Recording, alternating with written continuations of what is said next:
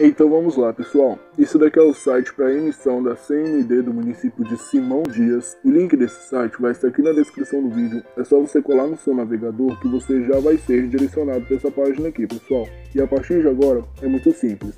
É só você vir em tipo de certidão contribuinte Aqui nas abas CPF barra CNPJ, você informa o CNPJ que você quer estar utilizando. Eu vou colocar qualquer um aqui para mostrar para vocês como funciona. E agora é simples, pessoal. É só você clicar em emitir, aguarde um pouco, você será direcionado para essa página aqui. Aqui vão ter algumas informações e mais abaixo de tudo vai ter imprimir. Você clica e aguarde um pouco até que seu documento seja impresso, ok? E pronto, pessoal, documento impresso. Esse daqui foi o site para emissão da CND do município de Simão Dias. Muito obrigado pela sua atenção.